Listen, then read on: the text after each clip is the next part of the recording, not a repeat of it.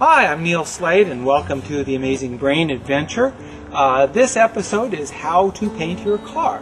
And if you don't know already, uh, uh, my website hosts the number one site in the world on how to paint your car. Now, this isn't something that I learned from a book. I actually learned car painting from experts who make a living painting cars like Lotuses, like this car behind me, or Ferraris or Lamborghinis, but also typical cars like the car that you probably drive. Um, you can paint an entire car in just a few hours with the right preparation and come up with concours showroom quality it's very easy. You probably wondered how can companies like Maaco uh, paint a whole car for $250 or $200 or so.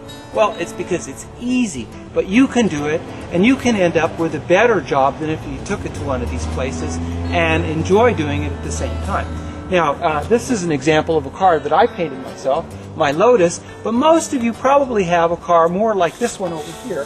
And this is what I'm going to use for demonstrating the various techniques of how to paint your car. Now what I'm going to do is just paint the hood of this Honda here and in doing so you can then apply everything that I show you on this video in doing your own project.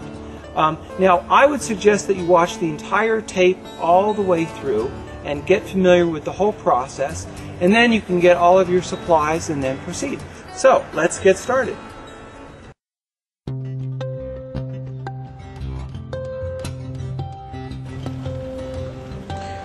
Okay, I finished my third coat of clear. I've removed the tape, and as you can see, we have a very smooth, very shiny hood of a car. And what's really nice is if we if we focus in on the portion of the hood where the dent was, we can see there's no trace of a dent anymore. And very pleased with the final job.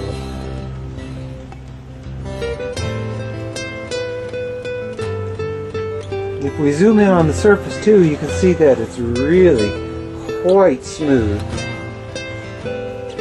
And in fact, it's a little difficult to take a picture of it because there are just so little imperfections and that the surface of it is just so wonderfully